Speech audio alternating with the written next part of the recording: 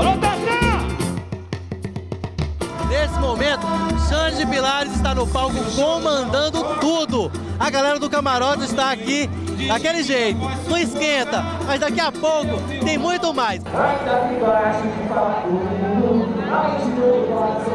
Olha, andando aqui pelos camarins, olha só que eu encontrei os dois apresentadores dessa festa que é o Piauí Fest Music.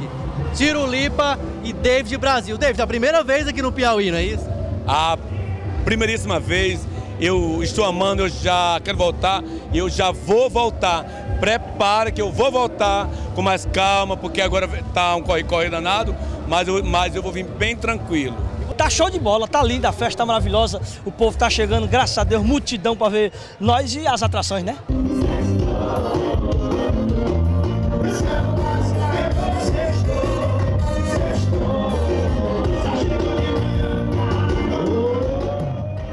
Meio da galera que o negócio começou a esquentar ao som de 8794.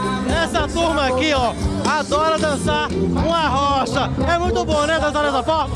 Simplesmente o Piauí Fest está de parabéns. O Piauí é consagrado com essa festa contagiante, emocionante. Dá pra curtir o Piauí Fest mesmo de camarote, não é isso, Tainá? Tá ótimo, aqui tá perfeito. Primeira noite, tá se divertindo a beça. Muitas atrações que trazem o público pra cá, né?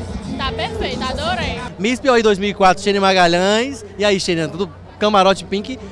É imperdível, né? Isso no, camaro, no Piauí Fest. Com certeza, como eu havia falado hoje cedo, superando todas as expectativas, tá show de bola, tudo maravilhoso. Já tô aqui descabelada, porque eu me descontrolei, né? Quando eu vi o Chan, o Chan Teve que dançar, né? tive que dançar, não resisti.